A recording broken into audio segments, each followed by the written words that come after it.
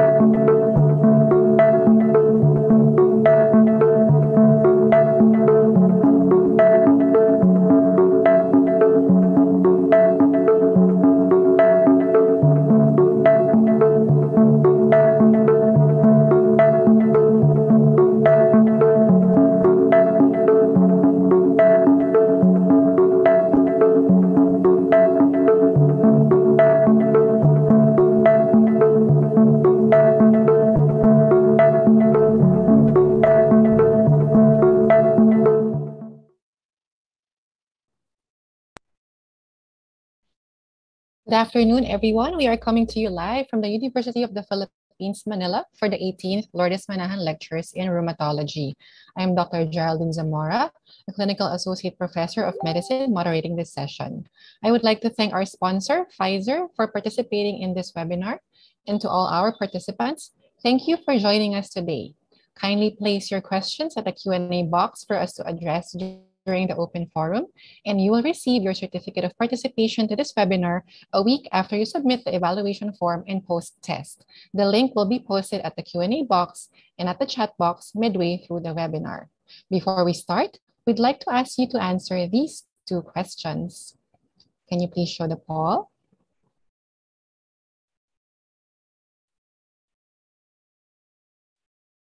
There will be two questions flashed.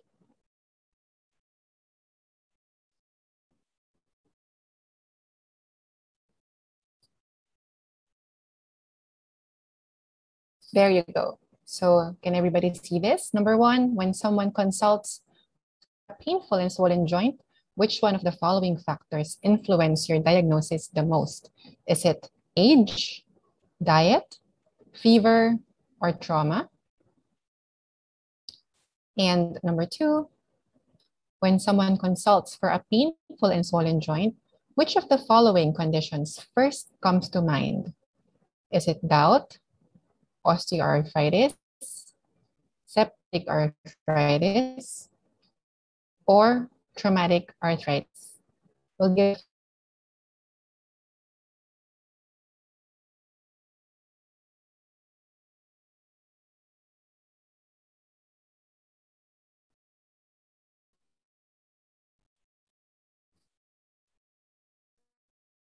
Okay. Is it possible to flash the result of the poll. So I was informed that it's not clickable for some, but for the most, uh, here would be the uh, most frequent answers. So for number two, undeniably it's gout. But for the first one, for the first question, there is more heterogeneity in terms of answers. So some people would um, be influenced more by the age, followed by maybe the presence of fever, and then diet and trauma would follow closely. Okay, so there you go. So LMLR is an annual event hosted by our division in honor of the first Filipino rheumatologist, Dr. Lourdes Manahan. The third lecture on this year's LMLR will focus on approaching the inflamed joints. And our renowned speaker for today finished her medical education and obtained her master's degree in clinical epidemiology at the University of the Philippines. She completed her residency and fellowship training at the Philippine General Hospital and is currently the rheumatology division chief, as well as an active professor at the UP College of Medicine. She has held numerous positions in the academe, including her service as rheumatology section head and research coordinator at the De La Salle University Medical Center and Perpetual Help Medical Center. She is past president of the Philippine Rheumatology Association and is well published in local and international journals. Her passion for teaching is well recognized and has garnered numerous awards and grants, including the Silver Jubilee, the Gawad Centenario, and the Paulo C. Campos Professorial Chair Award. We will surely take home very important clinical pearls from our speaker today. Let us welcome Dr. Evelyn Osio Salido to discuss that approach to inflamed joints.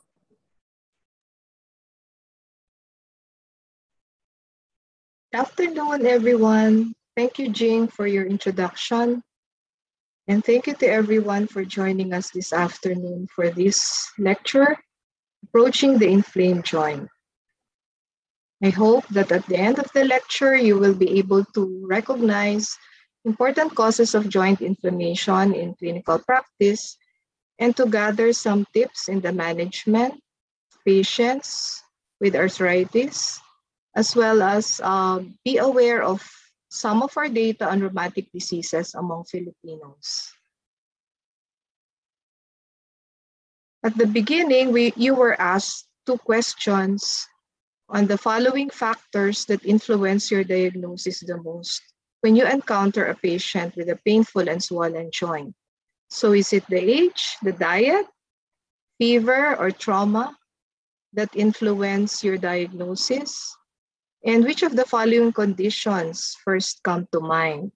Is it gout, osteoarthritis, septic arthritis, or traumatic arthritis? There is no wrong or right answer because it actually depends on all the information that you get from your patient. And we usually ask first about the onset of trauma or a previous history of arthritis and look for diseases that the patient may have. In the book Harrison's Principles of Internal Medicine, there's a very, very nice approach to a patient with musculoskeletal pain. And the first differentiation that must be made is whether the pain arises from a periarticular structure or an articular source. And very easy is when the patient is able to point with a finger the source of pain or the lo localization of the pain then you are most likely dealing with a periarticular disease.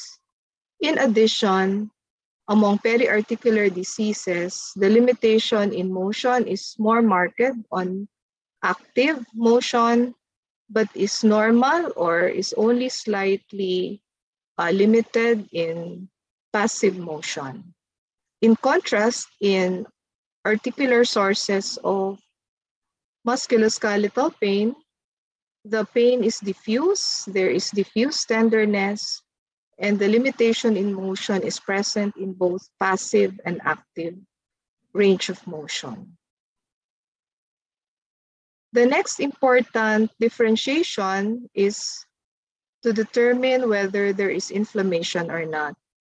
And swelling is a usual symptom of inflammatory diseases, although we have to be sure that the swelling is really because of a synovitis because swelling can also be due to enlargement of the bone as what we see in osteoarthritis. Also, we look at the number of joints involved. Is this a monoarticular problem wherein there's only one joint affected or is this a polyarthritis wherein five or more joints are affected? We say it's an oligoarthritis or an oligoarticular condition when two to four joints are involved. We also look for extraarticular manifestations. And sometimes this can be as vague as, as just weakness, or sometimes a feeling of malaise, some non-specific pains in the body, or a prolongation of stiffness of the joints.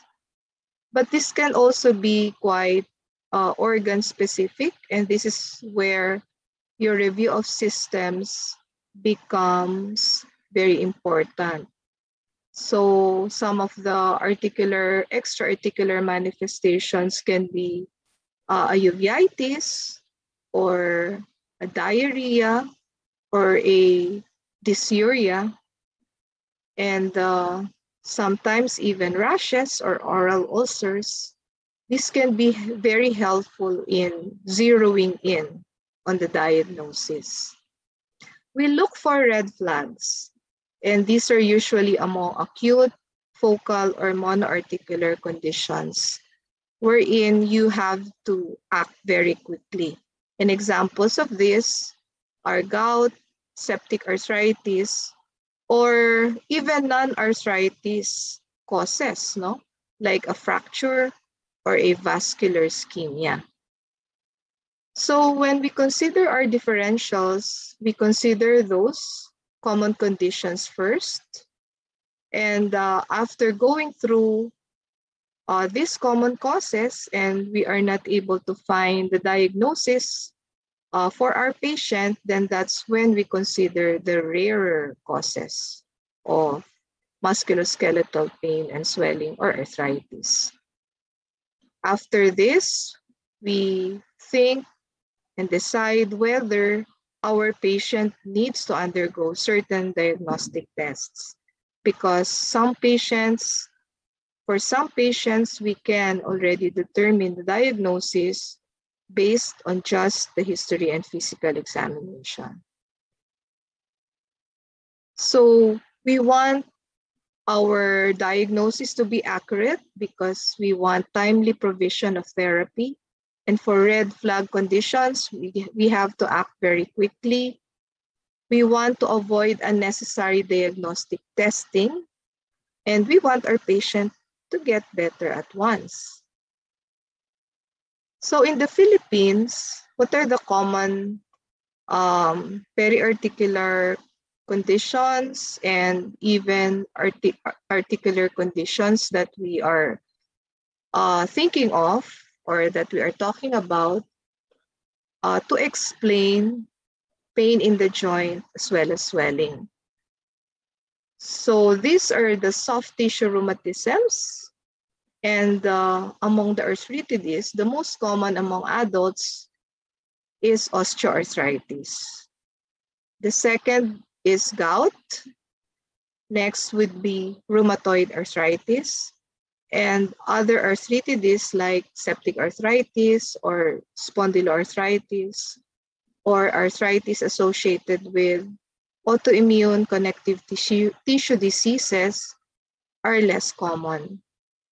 But overall, aside from the prevalence, as previously emphasized, we look at the presentation of the disease, and we look at the patient characteristics.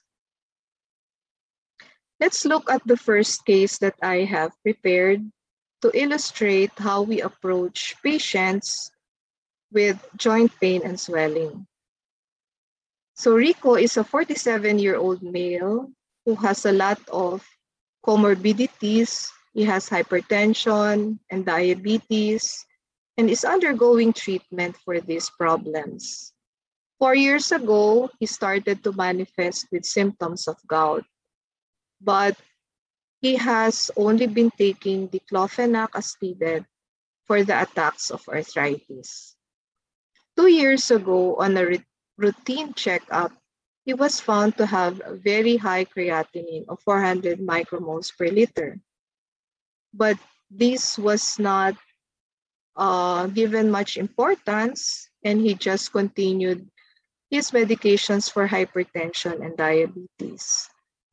Two months ago, he had blisters at the sole of the left foot, followed by purulent discharge. And there was also, a few days later, painful swelling of the left leg associated with erythema. He allegedly cleaned the wounds, and these slowly resolved without the intake of any antibiotics. He was able to go back to his normal activities after that. However, two days ago, he was confined for melena and he had to undergo several procedures, including blood transfusion. He had hemodialysis because he was oliguric and his creatinine was going up. It was more than 900. In addition, the serum uric acid was found to be 0.76. And today, he manifests with painful swelling of the left wrist and the left knee. So how do we go about thinking of the diagnosis in the case of Rico? First of all, he has previously manifested with recurrent arthritis that initially spontaneously resolved, but eventually resolved with intake of an anti-inflammatory. And in the presence of hyperuricemia and the monoarticular um, involvement occurring acutely, then this seemed to fit the pattern of a diagnosis of gouty arthritis. But now, he, he still has an acute inflammatory arthritis, but it is already an oligoarthritis. However, when given colchicine, he responded very fast. So it seems that this is still attributable to gout. However, he has a setting for septic arthritis also, which manifests as an acute inflammatory arthritis. Although he was afebrile, he had one episode of chills, and on laboratory tests, he had a high procalcitonin, leukocytosis, there's pyuria, and there was that recent history of untreated cellulitis, which seemed to have resolved. However, on examination of the left leg, there was still some swelling, as well as some increase in warmth, hyperpigmentation, although it was not tender. On duplex scan, there was venous insufficiency, but no thrombus. In addition, Rico is immunosuppressed and he has an IJ catheter, which can also be a source of infection.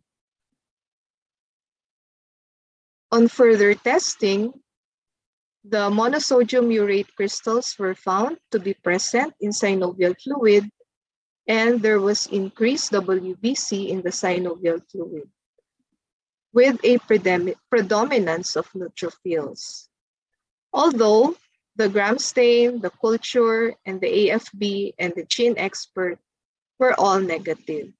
Even the urine culture was negative. However, the blood CS showed gram-negative rods in 24 hours at two sites. So here, you clearly have a patient with gouty arthritis and the setting for aseptic arthritis and uh, we elected to manage us both. Colchicine given at a reduced dose because of chronic renal insufficiency with an additional acute kidney injury. And uh, even if the patient is undergoing hemodialysis, we know that colchicine is not dialysable. Uh, he was also eventually given febuxostat to control the hyperuricemia and given antibiotics to cover for both gram-negative and gram-positive microbes. And he responded very well to this treatment. What do we know about gout in Filipinos? We know that it is prevalent. 1.6% of adults who are 20 years old and above have, have gout. And if we look at these three reviews done in a tertiary setting of 704 patients, we see that among Filipinos, just like in other um, populations, gout is uh, found more commonly in males. So almost about 90% of these patients were males and they were aged 45 to 60 years of, of age. And many of them, the majority of them, had other diseases like hypertension and diabetes.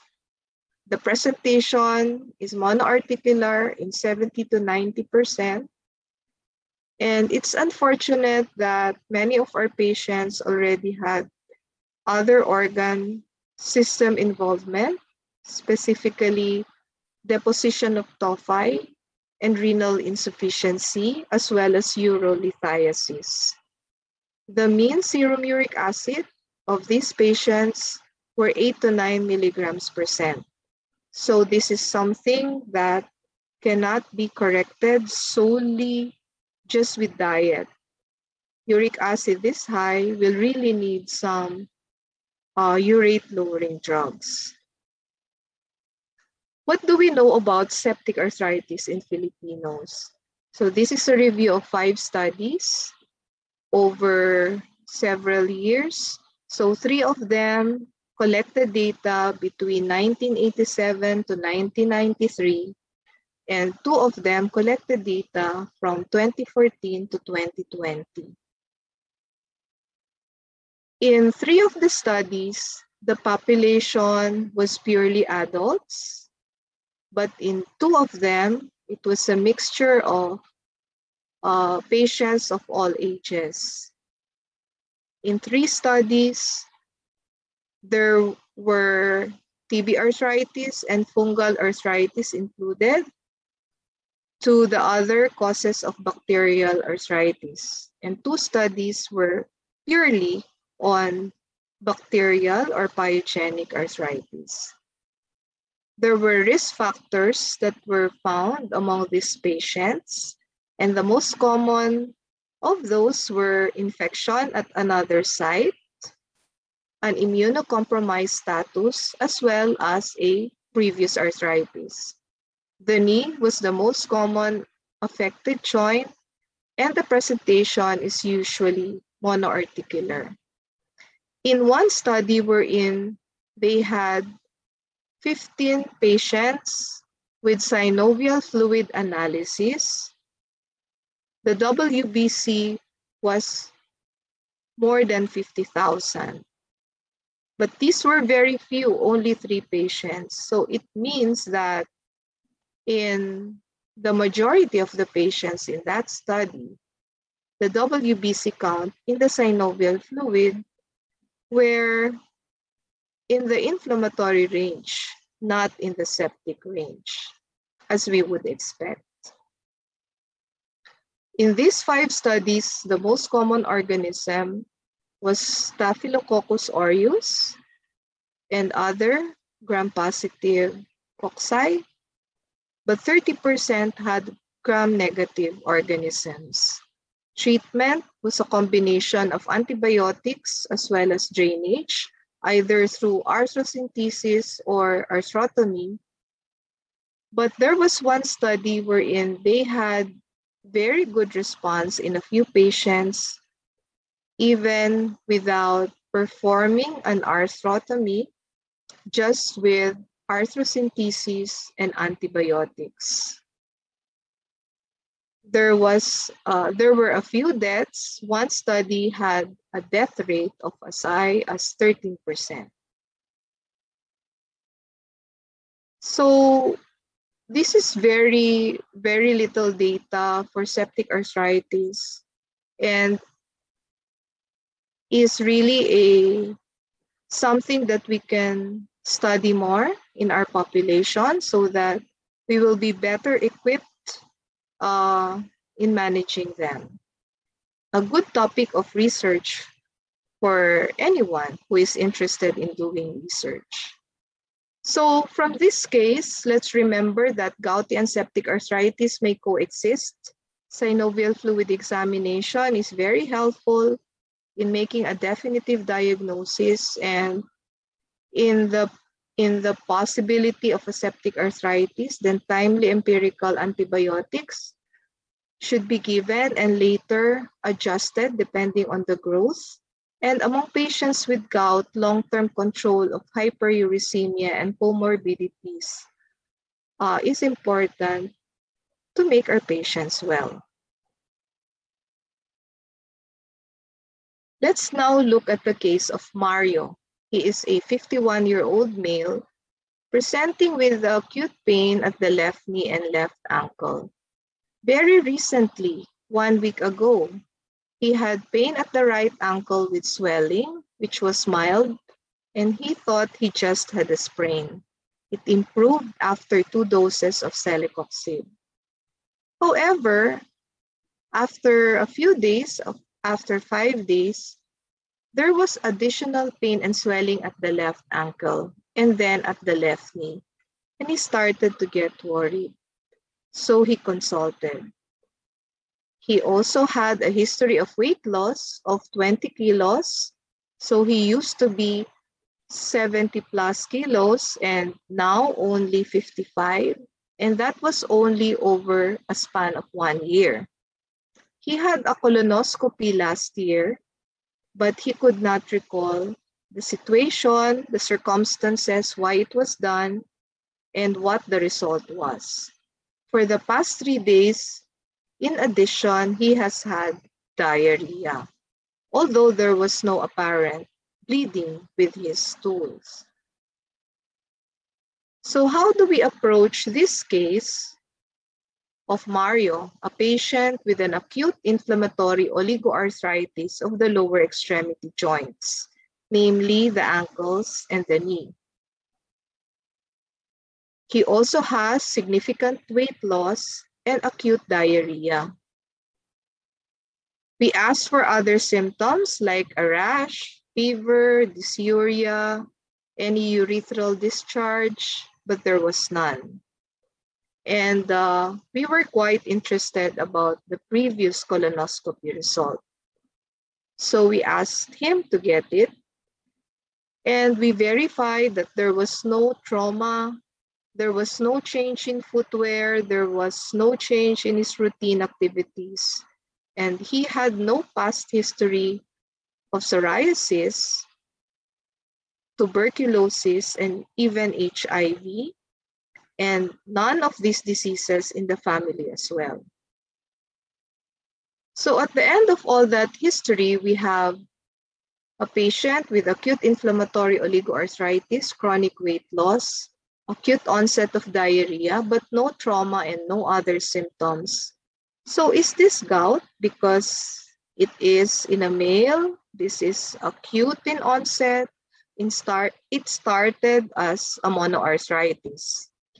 So it's possible, although in, in Mario, although it started as a monoarticular disease, it eventually became an oligoarticular disease. And that is not very common with gout, although still possible. One thing that we usually expect in patients with gout is that there is maximal inflammation, there is maximal pain over 24 hours. And we did not see that in the case of Mario. Other differentials would be a reactive arthritis, um, if we tie that up with diarrhea, um, the expectation for a reactive arthritis would really be happening two weeks later, not together with the diarrhea. So thinking again of the other symptoms of chronic weight loss, is the arthritis just part of a chronic illness like tuberculosis that is disseminated, or is this HIV or even cancer? So we did a few tests and asked him to really search for that colonoscopy result. And we found that he had mild anemia, normal urinalysis, serum uric acid, normal creatinine, and SGPT. And his previous colonoscopy showed non-specific colitis, but he underwent a recent colonoscopy because the diarrhea became persistent. And lo and behold, it showed ulcerations in the colon. So we suspect that this is an IBD related arthritis an arthritis associated with ulcerative colitis. So it is one of the kinds of arthritis under the general banner of seronegative spondyloarthropathy or spondyloarthritis, which involves ankylosing spondylitis or rheumatic arthritis and reactive arthritis. And these present with peripheral arthritis, usually a mono or an oligoarthritis involving the lower extremity joints. Although sometimes in psoriatic arthritis, you may have an RA-like manifestation or involvement or purely distal interphalangeal joint disease. Some of these patients also present with axial arthritis, purely, or a combination of axial and peripheral arthritis but a few patients will present with extra-articular disease before the arthritis. These are extra-articular disease can be a uveitis or GI manifestations or a urethritis. So in Mario's case, it was uh, the GI manifestation of diarrhea, which was extra-articular. In some patients, we may get a different scenario.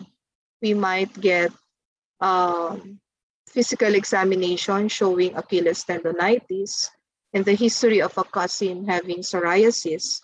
So in that scenario, you may think of the possibility of psoriatic arthritis. And I'm showing you here the CASPAR criteria, wherein you look at the evidence of psoriasis, you look at the nails, you check the rheumatoid factor, check the presence of the dactylitis and x-ray manifestations.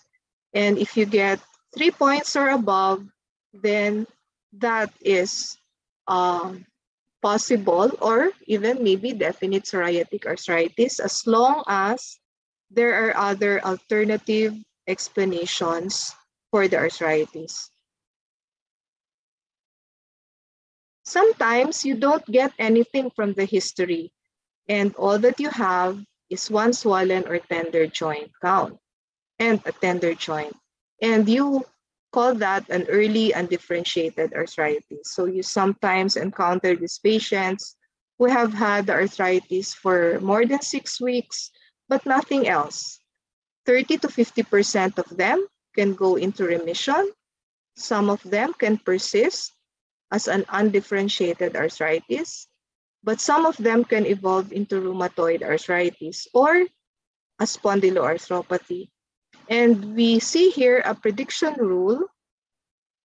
So you have several variables, and if you have a score of more than eight, then there is a high probability that uh, the arthritis can progress to rheumatoid arthritis. Something to consider in some of our patients. So we remember that the coverage of history in anyone presenting with arthritis is the duration of the patient's life. Extra-articular symptoms are valuable clues.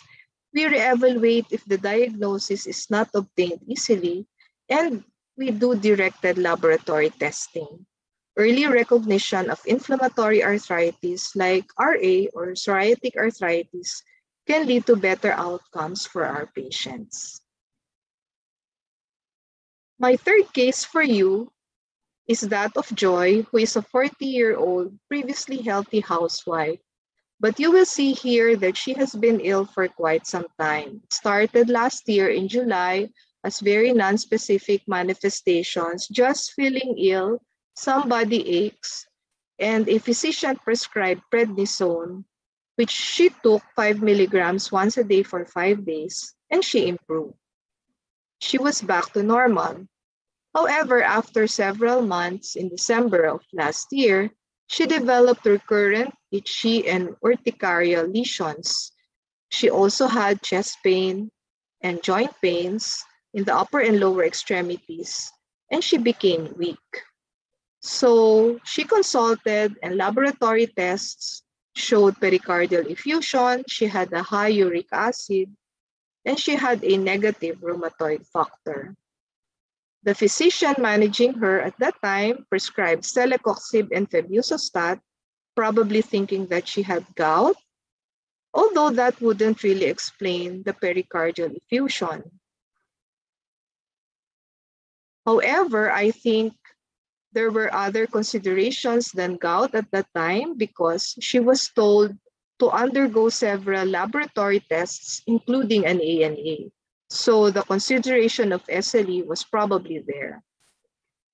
These tests she was not able to do, and after a, after a month, she had more severe pains in her joints, and there was now swelling. She consulted another physician and she was prescribed naproxen.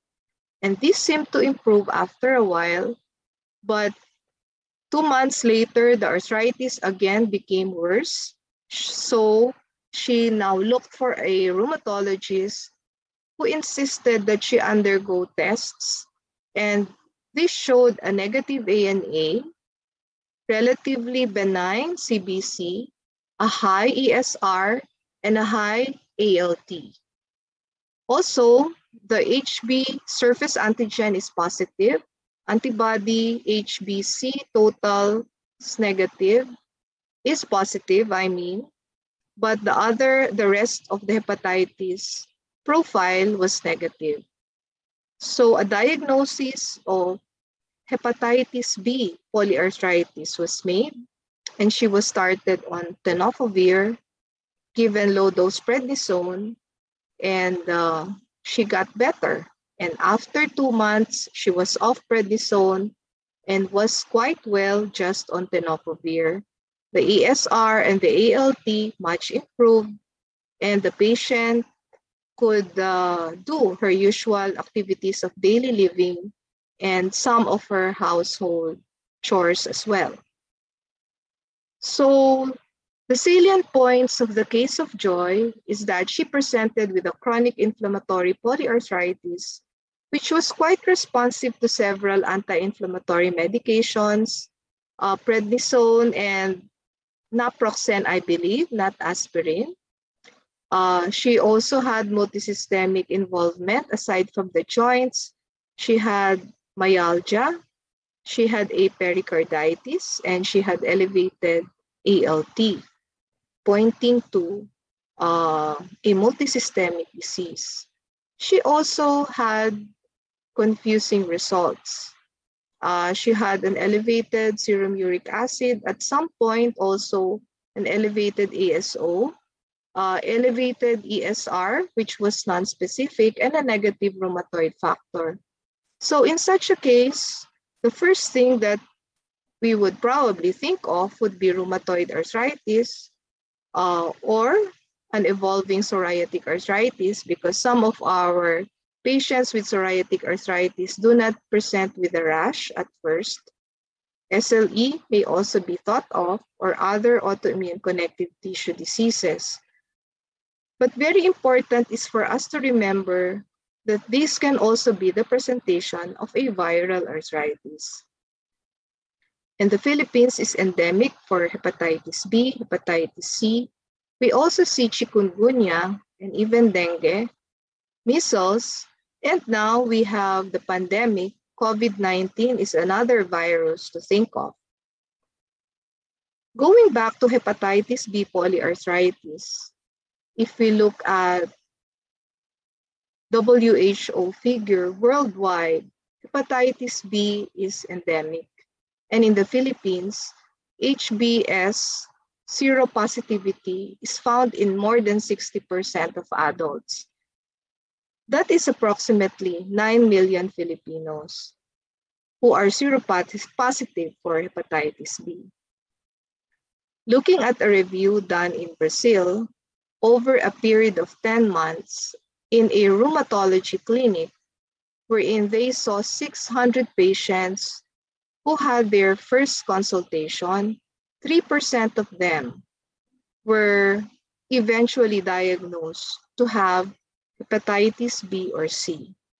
And 8.7% of them were already diagnosed HB or HC uh, virus infections.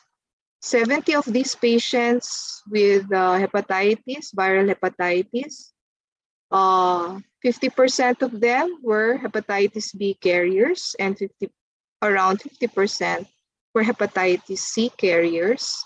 And many of them, no, almost all of them presented with non-specific arthralgia, many of them with myalgia, and look there's arthritis in 26% of hepatitis B carriers and 40% of hepatitis C carriers. So this is something that we must not forget uh, among patients with chronic uh, polyarthritis. Okay, so what about chikungunya? It presents as fever and rashes, followed by or together with extreme pain as an oligo or a polyarthritis. Although 50% will get well after six weeks and 90, 95% after 12 weeks. But there will still be 5% who can have a chronic arthritis or a recurrent arthritis. And uh, we have a few patients who develop um, really a persistent arthritis. So again, something to think of in the Philippine setting. COVID-19 is here. And on a quick review, I saw six published cases of reactive arthritis manifesting at the second or third week from the onset of COVID symptoms, either as a mono, oligo, or polyarthritis, and one even manifested with uh, axial manifestations. One patient seen in the clinic of Dr. T manifested with a knee arthritis and transient rheumatoid factor positivity 12 days after the end of hospitalization for COVID-19. And this resolved after intra-articular steroid injection. So we will probably see more of these cases because the pandemic is still very much present. So remember that in the presence of multisystemic involvement, we must uh, do our evaluation properly, we follow up, we refer if we cannot figure out the case. In unresolved inflammatory chronic arthritis, think of the possibility of a viral arthritis. We use steroids only when the diagnosis is clear because steroids being anti-inflammatory drugs can really cause improvement even if the arthritis is not rheumatoid arthritis. Okay, it can cause an improvement in many different causes of arthritis and it can confuse the issue. Also very important is continuity of care. It's demonstrated by the case of Joy. Okay, this is the last uh, patient I will share with you this afternoon, who is Boy, a 27-year-old male, quite young. He is previous. He was previously healthy, and uh, two weeks ago he presented with severe left knee pain and swelling. And after a day, he also had dark-colored urine. No, it looked like blood, and it was frothy. He was disturbed and consulted. And on physic on laboratory testing, you will see that there is slight leukocytosis. Uh, there is uh, thrombocytosis as well. A few abnormalities in the urinalysis. The uric acid very slightly elevated and the creatinine is double the normal. He was given ciprofloxacin, potassium citrate, and diclofenac and was advised other laboratory tests. After a week, the KUB ultrasound was normal. He had an ECG which showed sinus rhythm with a prolonged PR interval. By this time, he was in severe pain in almost all of his peripheral joints. And this did not improve even when the diclofenac was shifted to etoricoxib. So he consulted a rheumatologist and was admitted. And on consultation, he was febrile, tachycardic, and he had arthritis of all of his peripheral joints. Even his muscles were tender, but there was uh, there were clear, clear lung sounds, breath sounds. There were no rashes, he had no ulcers, there was no uh, abdominal organ enlargement, there was no tenderness, uh, and uh, nothing else. So the prolongation of the PR interval be be became the clue to the possibility of acute rheumatic fever. And uh, there was also leukocytosis, elevated acute phase reactants, and an elevated ASO. The viral tests were negative for COVID, hepatitis, and the muscle enzymes, the creatinine, SGPT, and urinalysis were all normal. So boy fulfilled the criteria for modified Jones, the modified Jones criteria with one major criterion and four minor criteria, including evidence of past streptococcal infection. By the second day after aspirin administration, there was marked reduction in joint pains, and on the fourth day, it was ambulatory. Later on, we were able to get a 2D echo which showed thickened mitral valve and no other abnormalities. So he was shifted to prednisone, and this was eventually tapered. He was maintained on benzathine penicillin prophylaxis.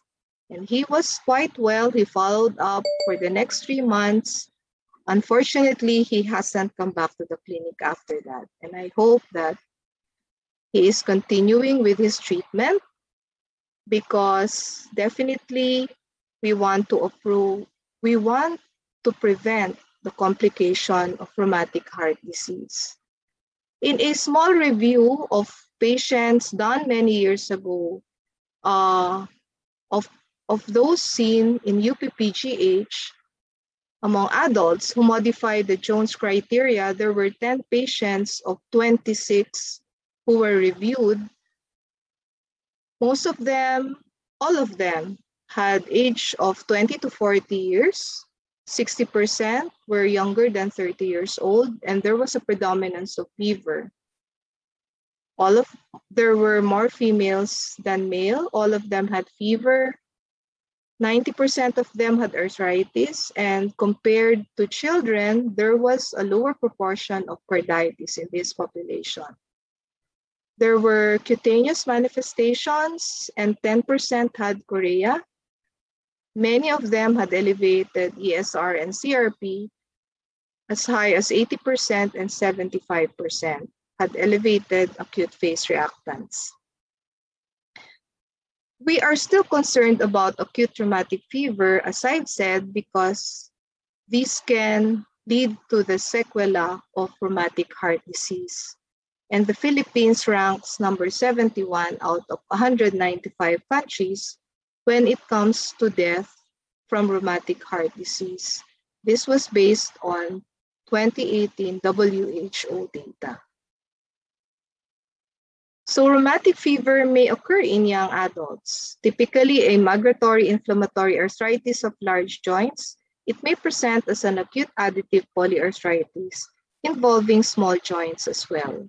There is rapid response to aspirin and penicillin. So that's my last patient to share with you today. What have we learned? We look at the disease manifestations. We use the algorithm in going through the questions that must be asked about the presentation of the disease. We look at the patient. Are there other diseases? What is the patient profile? We look at the Philippine setting. Is this an infection we're dealing with? We look at the course. If the disease is chronic, how has the disease progressed? And we use all of this information to come up with our diagnosis for us to be able to give timely and appropriate treatment for our patient. So that is the end of my lecture, and I hope that this is useful to you and applicable to your practice to help our patients with arthritis in the community and in the hospital. Thank you very much for your attention. Thank you very much, Dr. Salido, for that very straightforward and informative lecture. So we have several questions in our Q&A box, and I believe uh, there would be some more. Let's start off with the first question, Dr. Salido. It's from um, an anonymous attendee. So regarding the presence of gout, starting as early as 20 years old, can we say that gout among Filipinos is usually early onset? Because the typical age of gout is 40 to 60, but we always see patients around their 20s.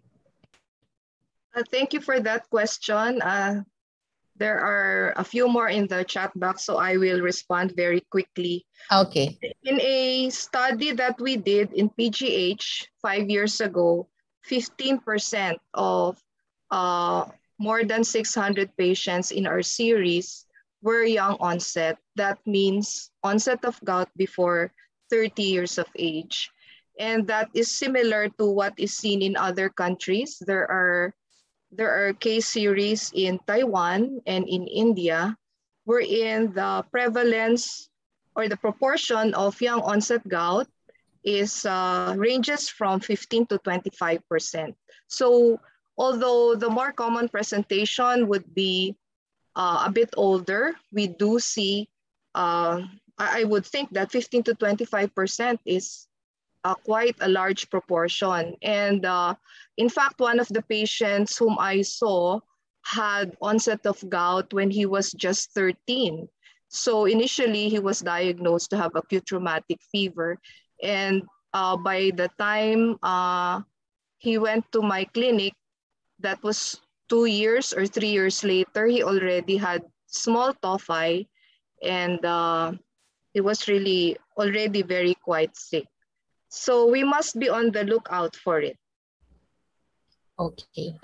And um, another question, thank you, Dopo, for the very informative lecture. How best can we differentiate gout and septic arthritis during teleconsult, especially when the patient refuses to go to the clinic or hospital for arthrocentesis? And what would be the best course of action in these instances, ma'am? Uh, I think uh, an investigation into a setting for, for septic arthritis should be done. So is the patient diabetic? If you, if you look at the, the studies from Filipinos, most of the patients had a setting for an infection. Either they have another focus of infection, um, like an abscess, sometimes it's an hidden, hidden carbuncle or a UTI.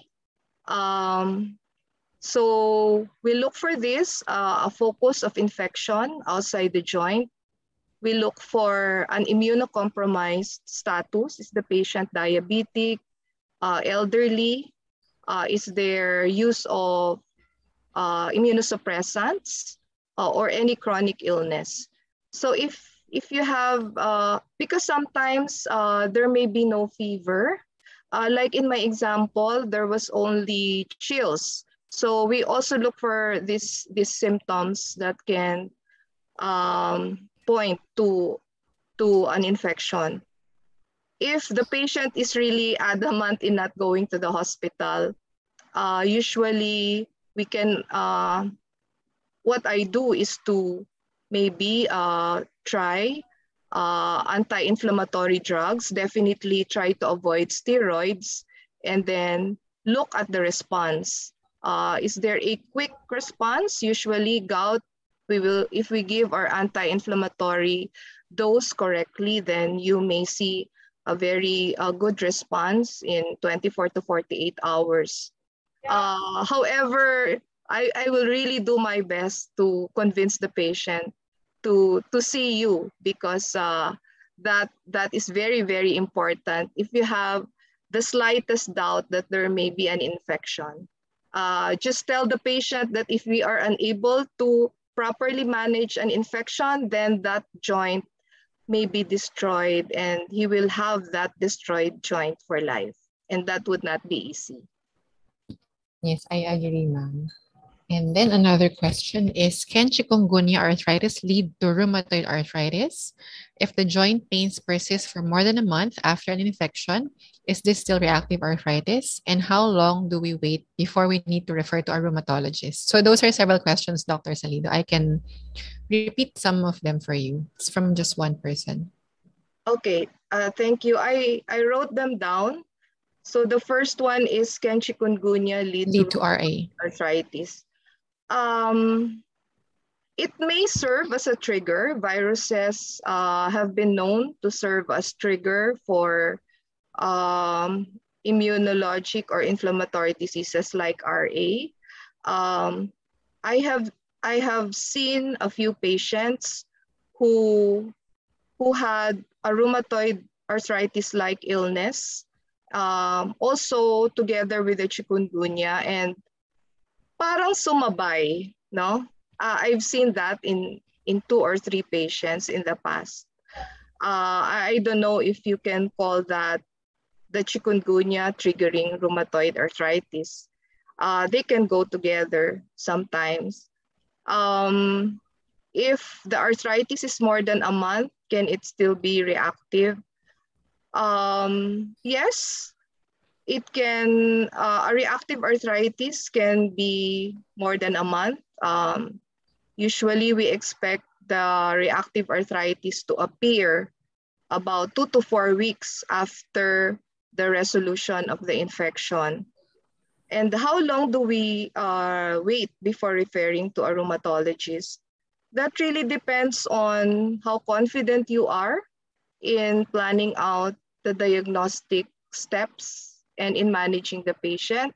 So if you have uh, difficulty, then it would be good to refer to a rheumatologist early, depending on what your differentials are. Because uh, again, if you're thinking of a differential uh, with a red flag, like this is gout or this is septic arthritis, then I think I would uh, want to refer early.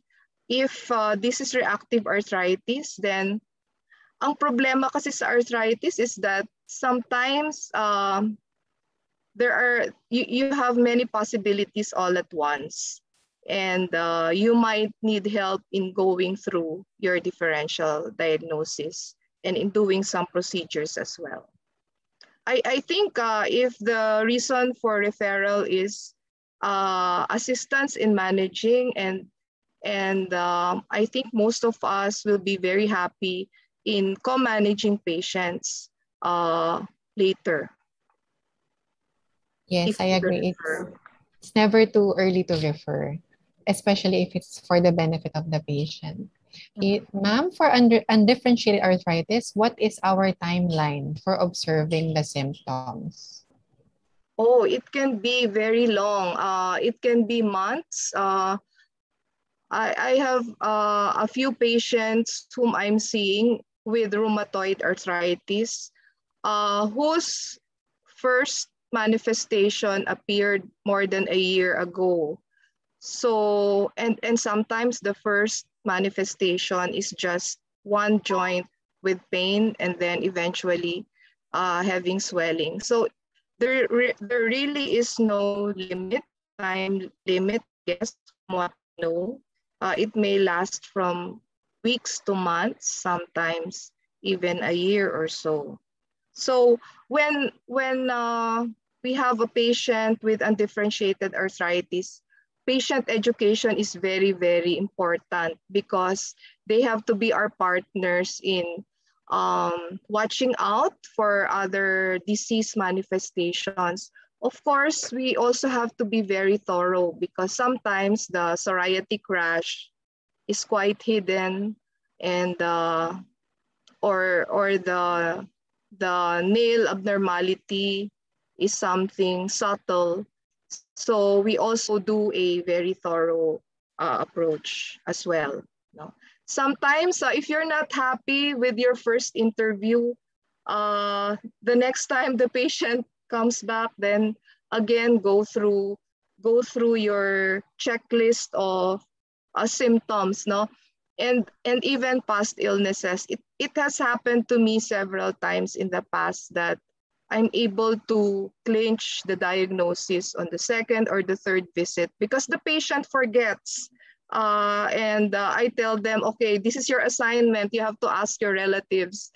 Meron ba silang psoriasis? No, you ask your parents. They might have other diseases in the family that you are not aware of. Okay. Um, so how do we alleviate the fear of most doctors in treating rheumatic fever with arthritis that needs several tablets of aspirin in a day? Okay, it used to be that um, the inflammatory dose is 80 to 100 milligrams per kilo per day, and that's really so much. But um, as I was preparing for this lecture, I I saw a few articles wherein it says that uh, even lower dose, like 50 milligram per kilo, uh, already works very well. So that is uh, what we gave uh, our patient. And you can see that after a day, he was, he was very happy. Um, admittedly, that's a lot of tablets, no? Especially if you're using a 100 milligram tablet. Uh, but we have to look for the 325 milligrams so that you can have uh, a lesser, uh, fewer tablets uh, to begin with. We have to explain to the patient um, the possibility of having some adverse effects. Of course, we already cover with uh, proton pump inhibitors if we have, if we are anticipating that uh, GI upset may be uh, a consequence. If, if the patient does develop adverse effects, then we have an option of giving other anti-inflammatory drugs. We can also uh, give uh, steroids. Thank you for that, Dr. Salido. Before we proceed with the next questions, I'd like to remind the audience that the link is now posted in the chat box for you to fill out um, the evaluation form in order for us to also be able to give you your certificate of attendance. So Dr. Salido, going back to the question, how do we give antibiotic prophylaxis among patients who have rheumatic fever in adults? Until how old or how long should we give it? Ah, okay. Um, there are different ways, no? We can give it every 28 days uh, or every 21 days. I was uh, asking a pediatric rheumatologist earlier and she told me that she gives it every 21 days. We, we look at the predisposition for recurrence so we look at the environment the patient is in. We look at the possibility of um, recurrence of the streptococcal infection. We also look at the presence or absence of rheumatic heart disease. So I, I was looking for a guideline uh, in the Philippines. Uh, I found one in Australia uh, 2018, but in that guideline, they said 21 to 28 days. And I was searching the literature. I came across a news article in 2019 about the Philippine Heart Association Council for Rheumatic Fever and Rheumatic Heart Disease um, working for an OPD uh, package for RF prophylaxis. So that is uh, benzathine penicillin given every 21 days. Uh, and if the patient is able to go to, to a, a center where that is available, then that will be available for free. Also together in that OPD package is uh, a free annual 2D echo. So I but I ran out of time. I wanted to search, uh, I wanted to speak with someone from PHA to to orient me on on this no OPD package. Usually, uh, we look at so the duration. Uh, from what I read, it's up to 40 years of age, um, or um, 10 years from the last uh, occurrence of rheumatic fever. So that is the duration. However, if there is rheumatic heart disease, then that would be uh, indefinite uh, use of, of the prophylaxis, the antibiotic prophylaxis. Okay, thank you very much. And I think this would be the last unless there would be more questions to be typed in. Is the management more likely the same for those without and with history of hepatitis B virus? And are there any workup that is important to consider? Oh, okay. We, we will go back to another question after that. So is the management more likely the same oh. for those without and with history with, of hepatitis B hepatitis virus? B. Uh, this might be in relation to uh, this might be in relation to the viral um, arthropathies. Okay. I think. All right. So if well, um, we we have to usually for our patients with uh, inflammatory arthropathies, for example, you have someone whom you eventually diagnose to have rheumatoid arthritis. It's really our SOP to look for latent infections. So sometimes we are we see a patient with rheumatoid arthritis and also a positive seropositive for seropositivity for hepatitis B. So in in that situation, then uh, we have to, uh, I guess, look at the viral load, and uh, I would I would refer that patient with uh, and co-manage that patient with a gastroenterologist and and probably also an infectious disease, whoever is more available.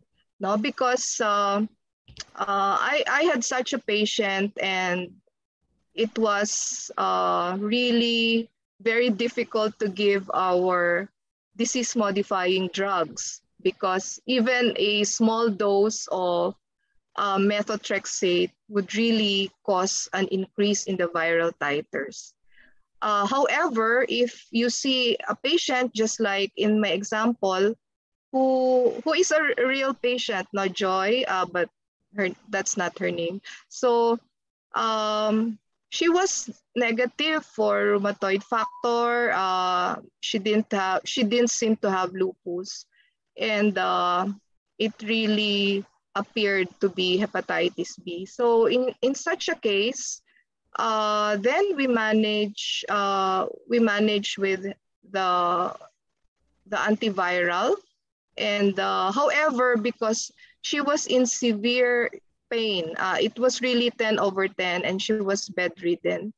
And uh, by that time, she was not responding. The pain and inflammation was not responding to uh, NSAIDs anymore. So I had no choice but to give her low dose of steroids uh, during the first few weeks of initiation of the uh, of tenofovir.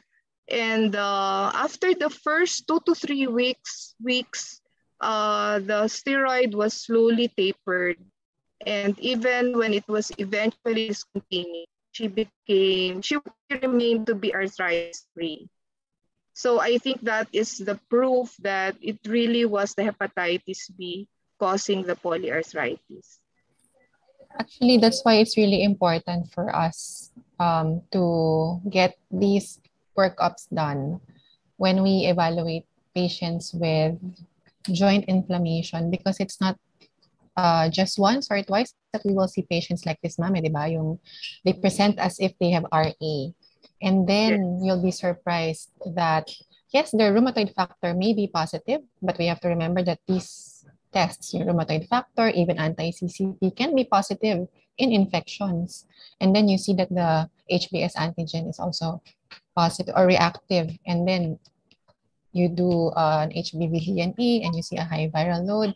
And I agree that we really need uh, the help of our colleagues here, gastroenterologists and or infectious diseases. Um, and it's not always um, autoimmune inflammatory arthritis. Sometimes it's another cause. And when pushed to the wall, we may have to give these anti-inflammatory medicines um, but of course, with due diligence and we check for possible side effects. Um, there's one more question here, Dr. Salido, in relation to the previous question regarding aspirin in rheumatoid, uh, in, sorry, in, in rheumatic fever. Um, how about for patients who cannot tolerate aspirin or who have a history of PUD? Um, maybe the question is if you do still give, or if you, it's automatic that you give um, the PPI that you okay. talked about earlier? Yeah. So we have to, we, we really have to give our uh, proton pump inhibitors as well as maybe additional protection for the gastrointestinal tract because we really need to give anti-inflammatory, no? Uh, if not aspirin, then other anti-inflammatory. Uh, probably uh, steroids would be less uh, toxic to the GI than aspirin. In, in such a case, I would go for uh, low dose aspirin if the patient does not have uh, carditis. Or um, if the patient is hospitalized, then you can also give your, uh, your steroids intravenously as well.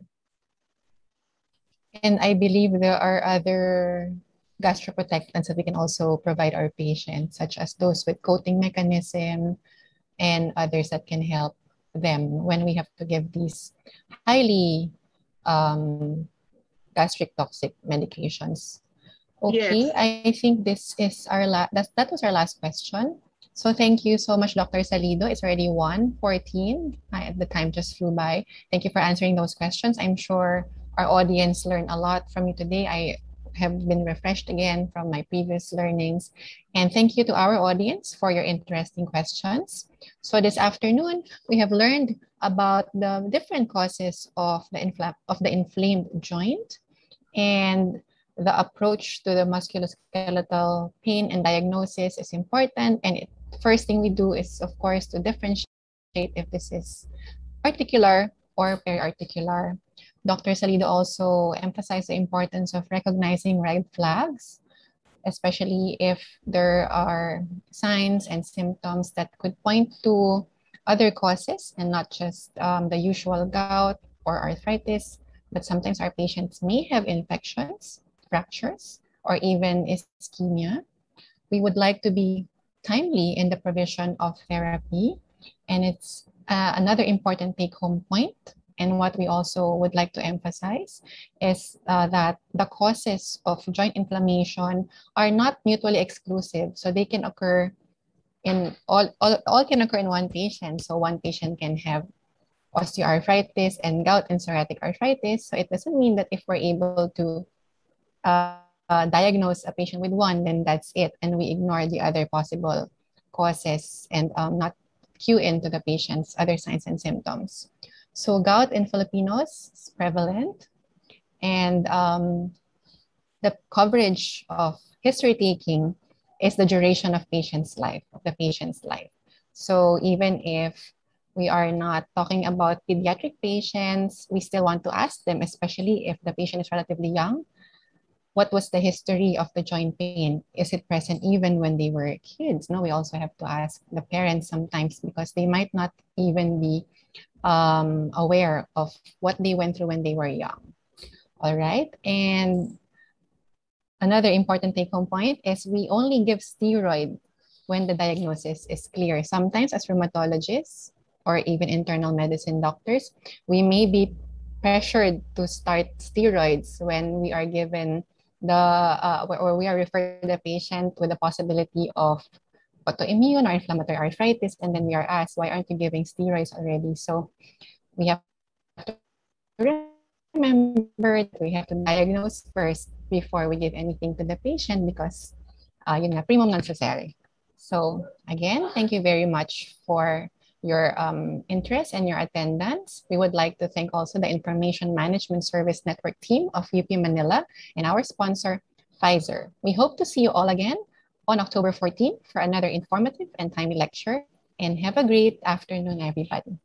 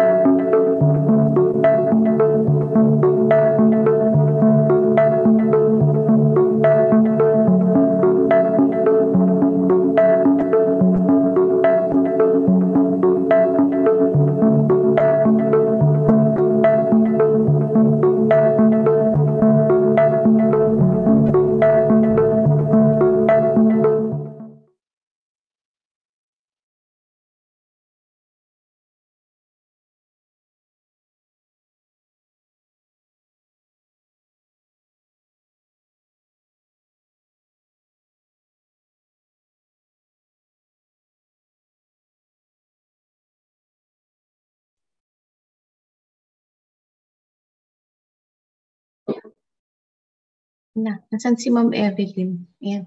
Nagpagupit ka, ma'am? Yeah, ano pa last week? Oh,